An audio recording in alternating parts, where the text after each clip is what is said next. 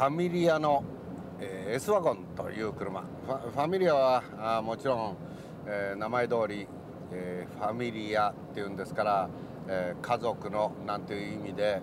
えー、これはあ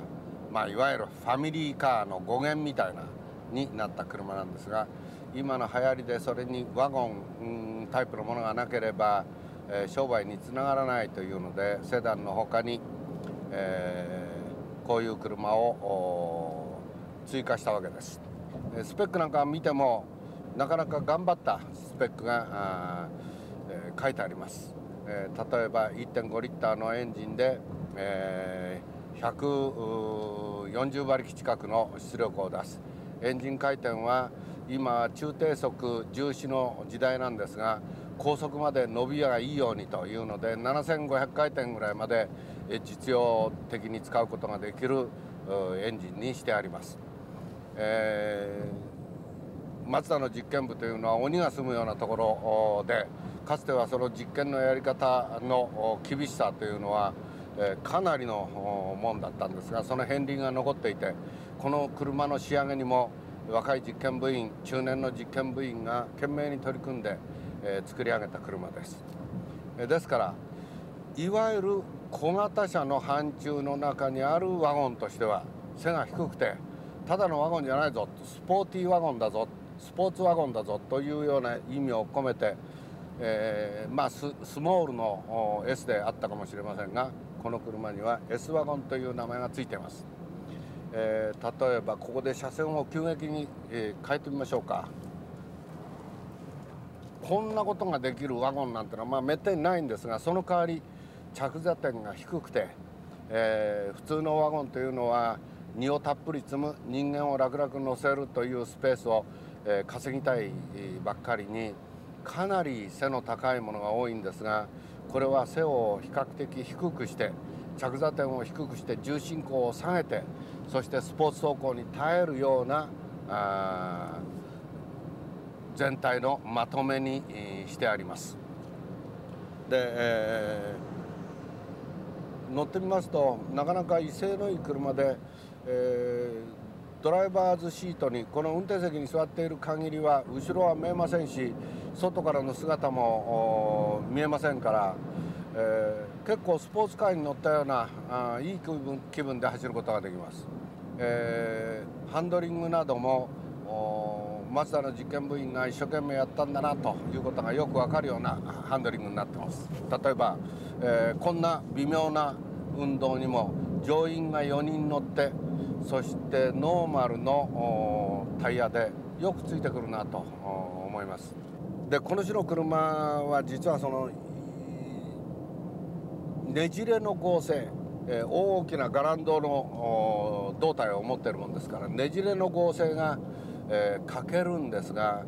この車はねじれの合成もセダン並みに保ったと言っています、えー、実際には試験する方法がないもんですから、まあ、こんな試験の仕方しかないんですけれども走ってみればあなるほど合成感のあるボディだなということも分かります。えー、音の静かさスムーズさというのも滑らかで、えー、そして、えー、それほどやかましくない車に仕上がっていると思いますがしかしやっぱりロードノイズが大きい、えロードノイズは大きいんですが乗り味はあまり大きく阻害されない。微振動をうまく足回りで吸収する。もしくはタイヤで吸収するという能力は低くはないと思います。ただ値段が値段ですから内装などで突飛なこともできませんし、えー、ごく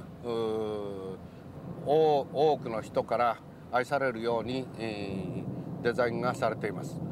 えー、この車のデザインもコンパクトにうまくまとめてあるというふうに思います。まあそんな具合で、えー、特にこの車だから悪いというようなところは、えー、ありません。えー、極めて特徴的なことはワゴンであるにもかかわらずプロポーションが、えー、スポーツカーのプロポーションに近いというような、えー、ところが見どころでしょうかね。面白いキャラクターの車だと思います。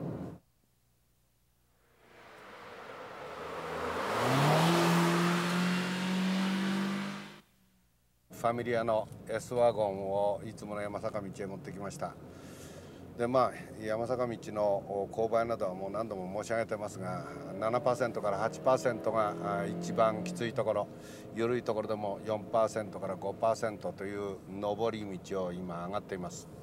こんなところへ来るとオートマチックのトランスミッションとこの高回転型のエンジンの組み合わせであ今変速が自動的に起こりましたが、え、これが激しく上がったり下がったりするんではないか。今またえー、3速へ、えー、上がりました。でここで勾配がきつくなります。アクセルの踏みしろは同じぐらい。3分の1ぐらい今アクセルを開けています。意外にこう急な変速はアクセルペダルを一定回度で保っている限りでは起こらないように、え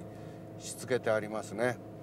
でアクセルを今度はオンオフを激しくやりますとエンジン回転はたちまちのうちに吹き上がってこんな風です。で、えー、6000回転を超えて7000回転近くまで、えー、回って、えー、車の速度を上げようとします。このエンジンはファミリーカーにしてはかなり高速型で7000回転を超えてもまだエンジンは回り続けようとします。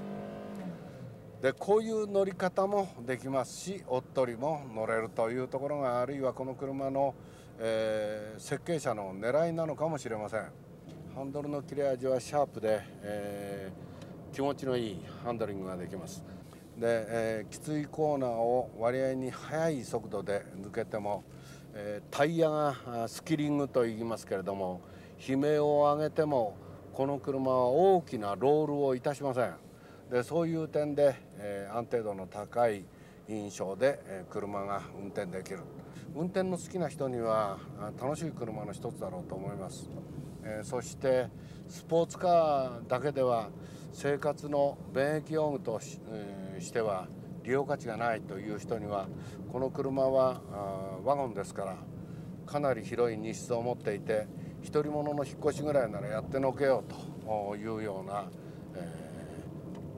ー、スペースがあります。まあ車の運転な運転の好きな人は一度、え試乗してみるといいと思いますね。姿か形を忘れて、えー、洒落たクーペに乗ったような気分になる不思議な車です、えー、燃費と騒音の報告を申し上げます、えー、この車の1015モードというモードで、えー、運輸省があ、えー、公表している数値は1リッターあたり14.6キロと。いうふうに公表しております。で、我々が試乗いたしまして、約34050キロ乗りましてそれの平均を計測いたしますと1リットルあたり11.7キロ12キロにちょっとかけるだけ、走っていました。えー、これにはいろいろ訳がありましておそらくは1015モードに近く13キロぐらい行くんだろうと思ったんですがこの日の気温は暑くてもう参っちゃうもんですから車エンジンかけっぱなしで、えー、エアコンつけっぱなしという状態で、えー、やっておりました。えー、そう申し上げると視聴者さんの中にはそういう無駄なことをするなというおはがきが時々舞い込みますがあなた炎天下で仕事をするのにどっかで頭冷やすとかなきゃとてもやっちゃいられませんよ、えー、たった十数分のフィルムを作るのに丸一日かけるんですから、えー、ご了承いただきたいと思いますそれにしてもエアコンってのは燃料食うもんですな。えー、騒音ですが時速100キロの時に一度も計測する高速道路で計測いたしまして67デシベルから68デシベルぐらいございました、えー、舗装のいいところではもう少し静かなところもあったんですがこの番組で高級車と呼べる音は64デシベルを切らなければいけないというところですからまあファミリーカーとしてはこの辺りいいところなのかもしれません。